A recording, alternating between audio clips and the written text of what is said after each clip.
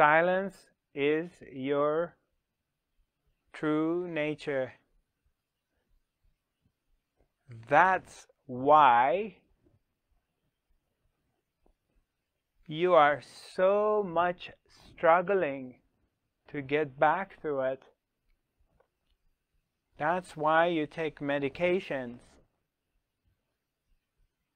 That's why you numb yourself. That's why you drink. You smoke. You eat sugar. You have sex. You buy cars, homes. You accumulate more things. You're hanging on your stuff because you want peace.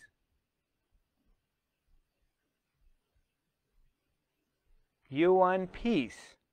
And peace only comes from silence. But you're not aware of that. You think it's in something. It's in somewhere or it's in somebody. Somebody, your saint, your priest, the people you worship, they can give it to you.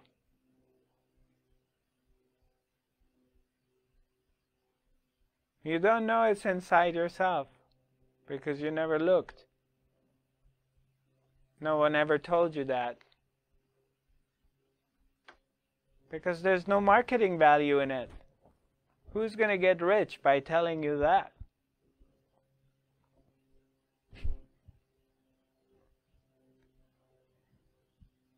Your deep attraction to peace is because it's silent and it's quiet.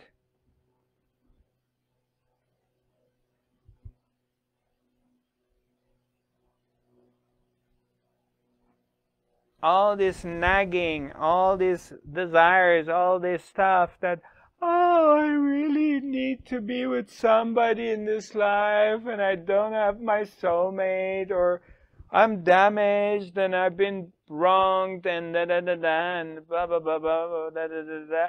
If you go beyond these things, you fall back into ultimate peace. You tap into the ultimate love. You tap into something far, far, far beyond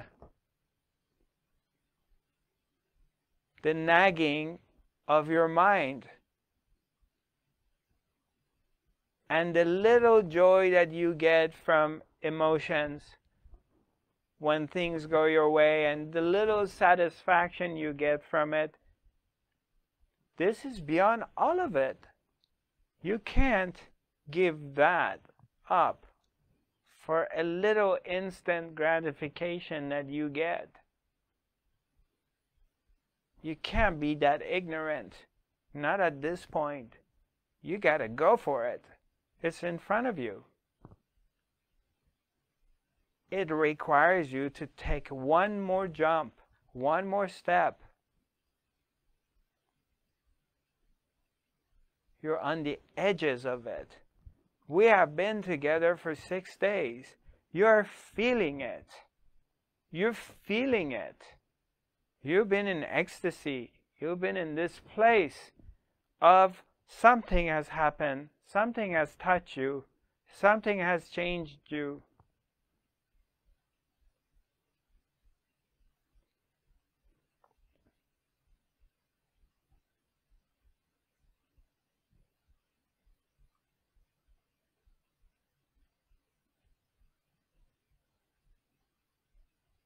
There is an ecstasy there's a bliss, there's something that is of value that you're feeling it in this moment in your heart. I know you're feeling it. I know it.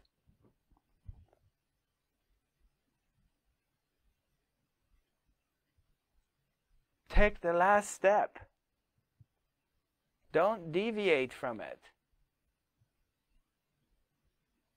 What do you have to lose that you're not going to lose anyway? Take the final jump.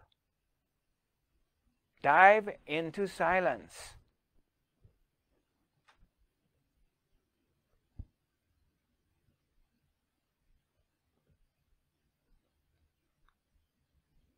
and then you will see that your mind your thoughts, your story of your past, everything was designed, all your emotional damages or whatever, traumas, they were all designed to bring you to this point.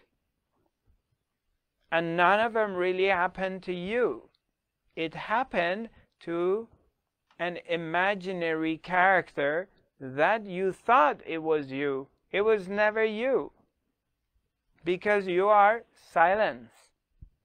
And you can't damage silence. It's always here. Everything comes from silence. Everything goes back to silence. Look at what's going on right now. They're forcing you to wear a mask. It can't be any more symbolic than that. It means be quiet. Be silent. What happens when the baby's born? It starts with a cry, and what happens? Where was it before? It comes from silence. It was quiet. And then what happens after you die? They either burn you or put you under the ground, but it goes back into silence. And any time in your life that you've been happy is because your mind was silent. Recognize that. It's in front of you.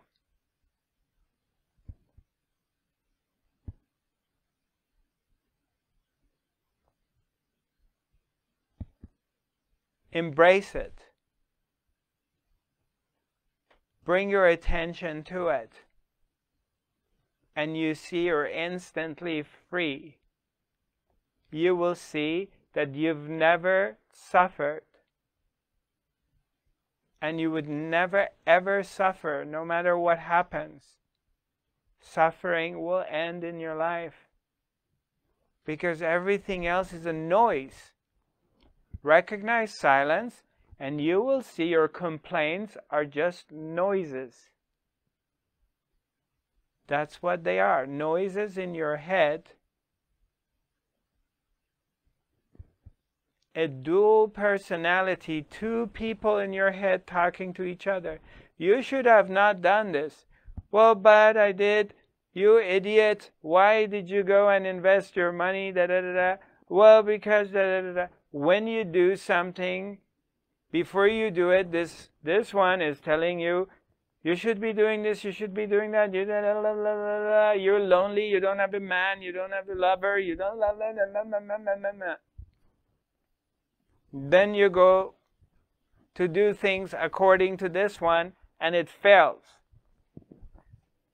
And then what do you do? The same voice starts telling you, You're so stupid, you're an idiot, you never learn. You always make the same mistake. Who tells you that you're ugly? Who tells you that you're not good enough? Who tells you that you're fat? Who tells you that you're short? Who tells you that you're not smart? Maybe when you were five, six, seven, eight years old, your dad, your mom, your peers told you that. But who's telling you these things at your age now?